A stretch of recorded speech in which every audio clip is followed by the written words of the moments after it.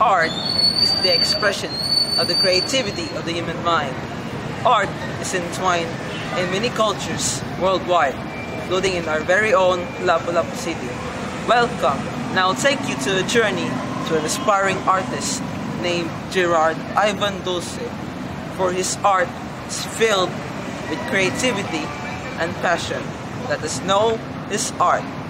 Welcome to Escarus TV.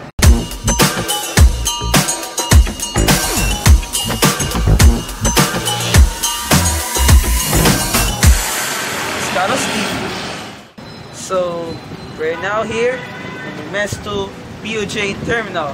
And come with me as I take you on the journey to meet these aspiring artists. And come, and I will lead you the way.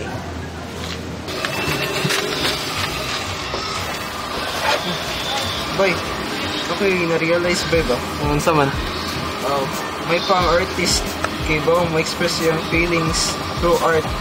Pero ako, hindi ko kay ba ma-express sa akong feelings para niya. Good morning. So, you are... Yes, I am Gerard Ivan P. Dulce. Thank you. So, can you tell me more about yourself? Okay, so as I've said, I am Jerrard Ivan P. I'm actually a graduate of BS Psychology. Wow, Yes. amazing. Yeah, then after which I've been working as a guidance counselor. And after that, I've also been working as a wellness ambassador under Nestle Philippines Incorporated. So, Oh, very yeah, nice. that's my experience. Let's dive here into your artworks and how you make art. Now, how did you learn how to create these artworks?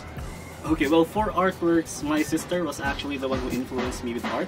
Um, she liked to do sketching and painting and all. And what are the usual themes of your artworks? Well, the usual themes usually are, you know, the night sky or just in general the skies. Then I also like to draw um, scenic um, scenic paintings like the mountains, um, the seas. What are the materials that you use to create your paintings? So it's really hard to explain because for me it's kind of like just putting yourself into the activity, then everything else just flows. Everything else just follows. I don't have any semantics on if ever I have to apply this kind of art, I have to use this brush. No, I just use, you know, my gut feel, my intuition. Hey, I think this one's good.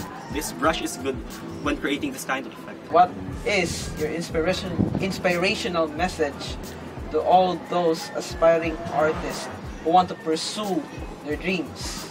maybe just you know keep on practicing. You know you will um for your first attempts just expect it not to be that good okay? I mean that's natural. If you just keep doing it and just keep loving it i tell you it will really bear fruit. And i tell you your paintings look at it five years or ten years from now you will really see the difference. You will really see the improvements that you have done and i think you will really be proud of yourselves for that Truly inspiring. You can be an artist of yourself. And this is me, Francis Escarus, reminds you that anyone can be an artist as long as you persevere and you put your mind, the wholeness of yourself, into it and you pursue your dreams.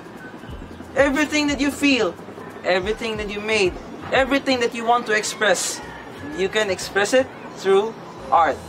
And this is your host, Francis S. Escarus from Escarus TV. Thank you and have a nice day.